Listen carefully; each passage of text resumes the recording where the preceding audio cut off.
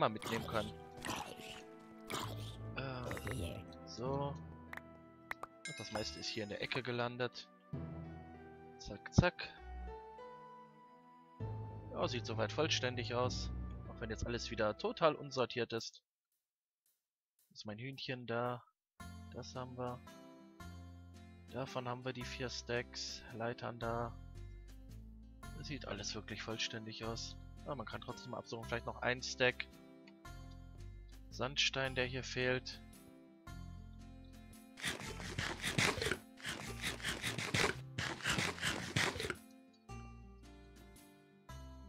Ja, und auf genau sowas habe ich quasi jetzt die ganze Zeit im Hard Mode erwartet. Aber dort habe ich mich davor erfolgreich gedruckt, äh, gedrückt. So.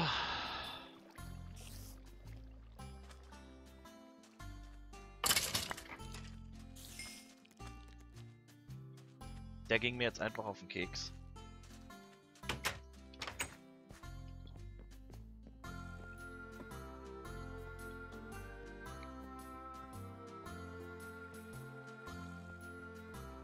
So, dann geht's mal wieder hoch.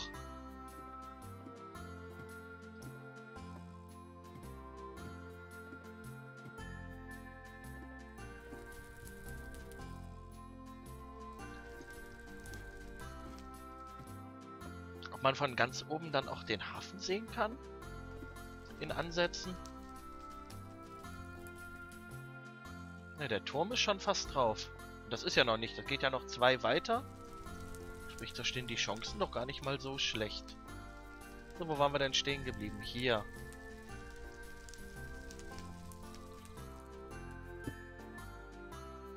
Zwei, drei.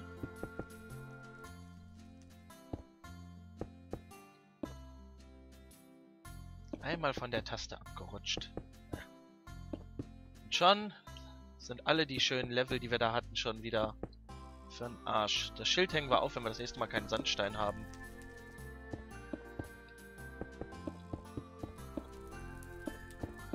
Und dann suchen wir nochmal alles ab nach Sand und Stein. Ich glaube, viel werden wir da nicht finden. So.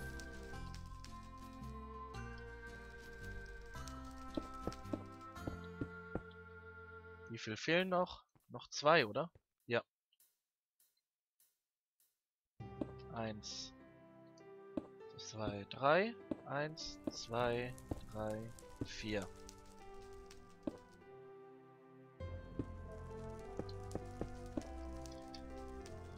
Äh, ich mach mal ganz kurz eine ganz kurze Pause. So, und da bin ich dann auch schon wieder. Ich habe mir ganz schnell etwas Verstärkung rangeholt. Denn sonst dauert das hier noch Ewigkeiten, wenn ich das alles alleine farmen muss. Und zwar habe ich auf unsere, in unserer Server-Konfi einfach mal gefragt, wer hat denn Lust, mir mal schnell ein bisschen Sandstein zu farmen. Und da hat sich der gute Fortiu und der gute Dark Vampir gemeldet, die, die mir jetzt beide helfen, dass dieser Bye, bye. Turm fertig wird. Hallo, du, ich porte dich gleich zu mir hin Okay. und äh, gib dir kurz den Creative-Modus, dann kannst du dir Mhm.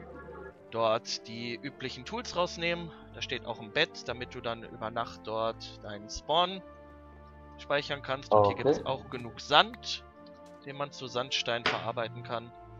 Mhm. Okay. So.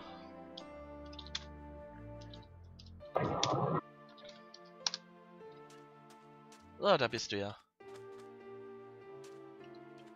So, dann gebe ich dir kurz. Wie ging das nochmal? Game Mode? Ach ja. Game Mode 1 und dann Name. Ach, und der gute Dark ist auch da. Das heißt, wir machen dasselbe nochmal für Dark Vampir. Bitte nur Tools rausnehmen, keine Blöcke. Und bitte auch die Tools Äh. dann für euch behalten und nicht in irgendwelche Kisten packen. Ja. So. Seid ihr jetzt beide Creative Mode? Dark, du auch? Nee, ich noch nicht. Du noch nicht. Wieso hat das nicht geklappt? Dark Vampir. Doch. Solltest du haben. So. Wenn ich E mache, habe ich ein normales Inventar. Wenn du E machst, hast du ein normales Inventar. Steht aber Wurde ich erstmal geportet? geportet? Ach, du, du leckst total. Oder mein Server hängt, das kann auch sein. So, du bist fertig, Fordio? Ja, ich bin fertig. Prima. Da ist auch noch ein, auch. ein bisschen Holz drin. Äh, Nahrung. Ich habe hier keine Nahrung. Hol ich gleich schnell für euch. Ich muss eh ein Schild aufhängen. Also hier hinten, dieser Berg, der kann quasi komplett zu Sandstein verarbeitet werden. Der muss eh Okay. weg. Dann hier um die Ecke. Hinter dem Turm. Äh, übrigens, dieser Turm da oben ist der Grund, warum ich keinen Sandstein mehr habe. Wow. Bei mir ja. leckst du ja total. Äh, hast du jetzt den Ich Que bin, Und der wird-. Der wird noch ein bisschen größer. So, Dark, du sagst Bescheid, wenn du alles hast. Und ich schlepp mal ein bisschen Futter für euch ran.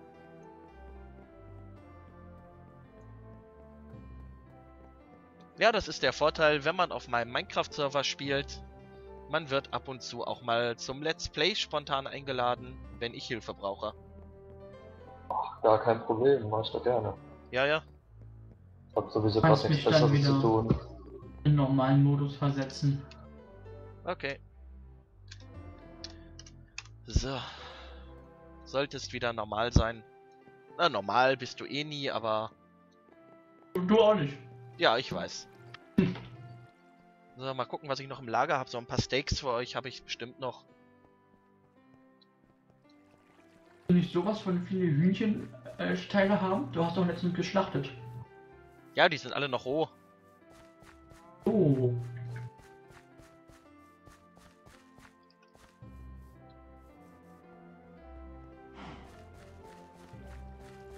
Aber ich habe noch genug zu essen.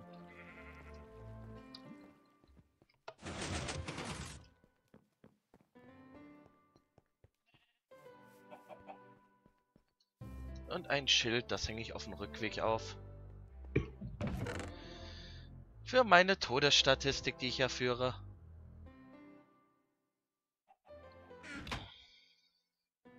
Gerade einmal richtig schön vom Turm geplumpst.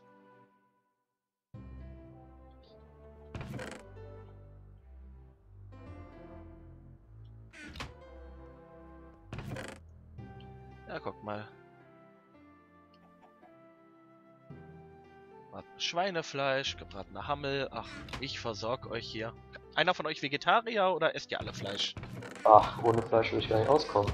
Ah, gute Einstellung. Das heißt, ich brauche kein Gemüse mit mir rumschleppen. Jo, Ich den, den Steinberg dann hier auch mit abgetragen haben oder nur den Sand weg? Äh, wenn du Lust hast, kannst du den Steinberg auch noch mit abhauen. Aber erstmal brauche ich jetzt halt Sand bzw. Sandstein, um weiter an dem Turm zu basteln.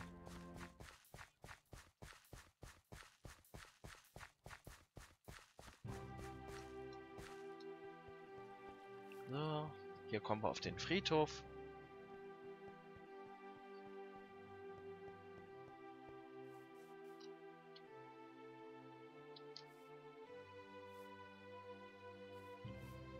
Das sah mal alles zentrierter aus. Naja. So, mal kurz nach dem Datum gucken. Der 21. Eigentlich schon vorgenommen, den Flug bauen. Äh, noch nicht, aber der Platz, äh, wäre da. Weil Opa spielt, hatte doch, Jep, ich weiß. obwohl ich eigentlich einen Flughafen für, für dich noch viel zu klein finde. Ein Flughafen für mich viel zu klein. Was wäre denn groß genug für mich? Äh, Du kennst ja das Vorhaben, wenn ich dich irgendwann mal äh, so richtig im Let's Play besuchen komme, ohne Spontanität, was ich Oh, dir ja. dahin pflaster. Also, was mit was ich anfangen möchte, aber das will ich jetzt nicht verraten, das wäre ein ziemlich Spoiler. Jo. Also ich erinnere mich noch dran. Stellt euch doch beide mal vor. Ich meine, ihr- die Leute hören euch jetzt zu und wissen gar nichts über euch. Ach, mich muss man nicht kennen, mich will man nicht kennen. Ich weiß, dass man dich nicht kennen will, aber man kennt dich trotzdem. Ja. Trauriger Fakt. Ja, also ich kann ja gerne mal anfangen. Also mein Name ist Etienne, äh, wohne gar nicht so weit weg vom äh, Iro, knapp 40 Minuten. Es geht eigentlich, also auch in NRW. Ja, bin jetzt seit letztem Jahr Dezember auf dem Server dabei. Ja. Bin halt auch äh, seit einigen Jahren schon sehr gerne am Minecraft äh, spielen. Immer wieder zwischendurch aufgehört, weil ich einfach gar keine Motivation mehr hatte, immer alleine. Dann hat ja Iro das Angebot gemacht, dass man bei ihm mitmachen kann. Und da dachte ich mir, ja, komm, ergreif die Chance, mach mal nur mit. Mach mal ein bisschen was spannender als immer alleine im Singleplayer und ja, dann jetzt seit gut fünf Monaten aktiv am Spielen und bin auch schon echt weit gekommen. Macht mir auch Spaß da.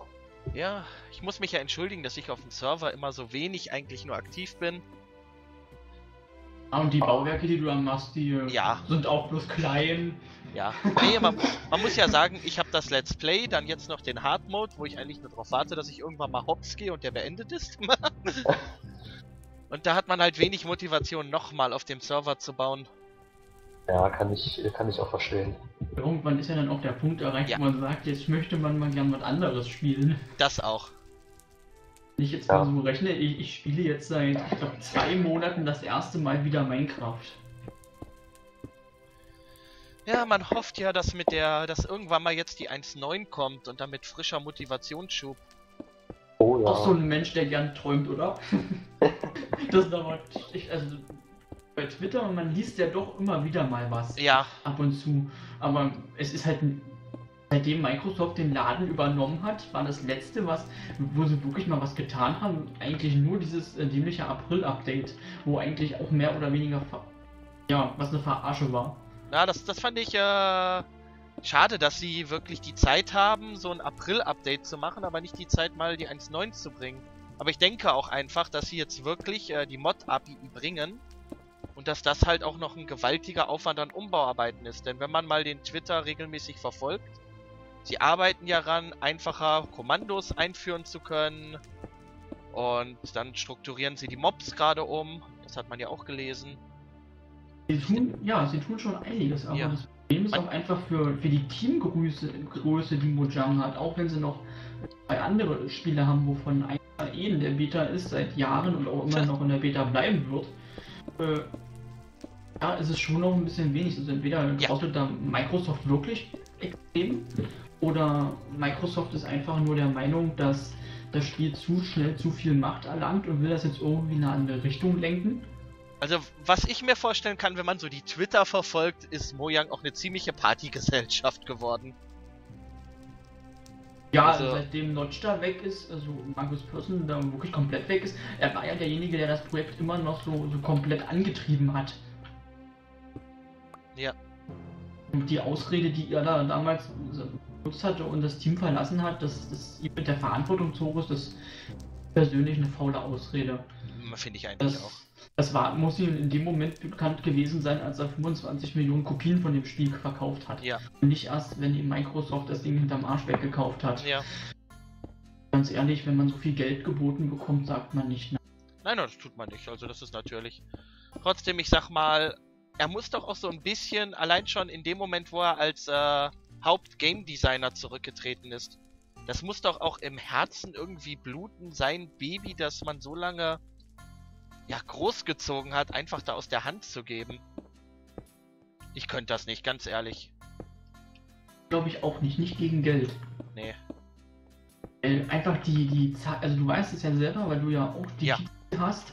Es ist ja einfach die Zeit, die Liebe, die Kommunikation mit anderen Leuten, die man da reinsteckt. Äh, da ist Geld jetzt mal wirklich die, die einzige Sache, würde ich behaupten, die man da reinsteckt. Aber das ist einfach so viel Liebe, so viel Zeit. Ja. Aber ich würde auch einfach behaupten, es lag einfach am Geld oder es lag halt an den Betrags Vertragsbedingungen. Das, das weiß man ja nicht.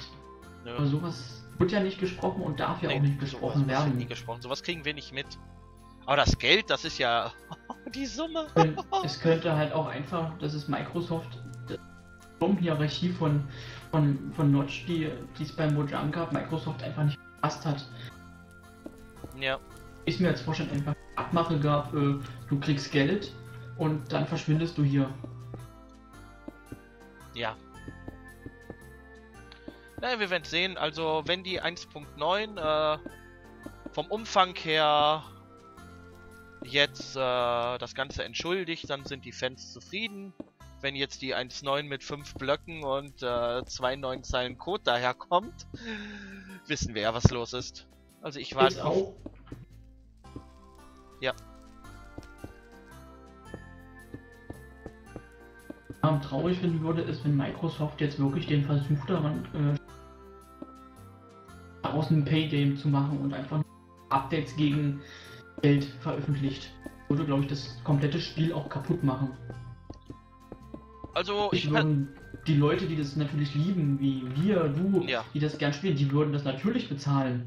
Aber ich finde, das in dem Fall wäre das nur eine Abzocke und eine Ausnutzung der, der Reichweite, die Minecraft überhaupt, überhaupt hat.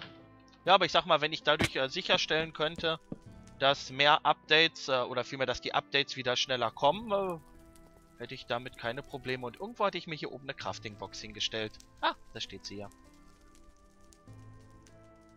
Alle mal gespannt, was noch daraus wird. Also Ja. langsam, ja, also wann haben wir schon darüber geredet, über die Mo- Mod-API und ein neues Update? Das war doch noch letztes Jahr, Ja, als gerade WoW neu rausgekommen ist. genau. Du deine letzten Folgen aufgenommen hast. Juli, Juni um.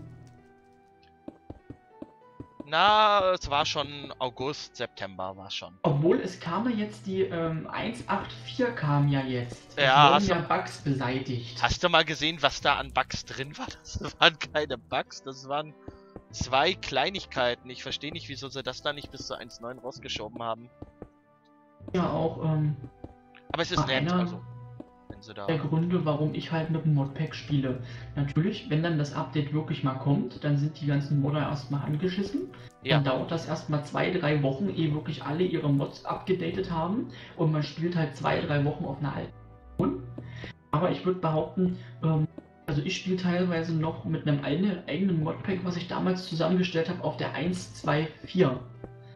Weil, ja, man hat halt diese ganzen Technikfunktionen und man, man braucht diese neuen Funktionen von Minecraft eigentlich fast.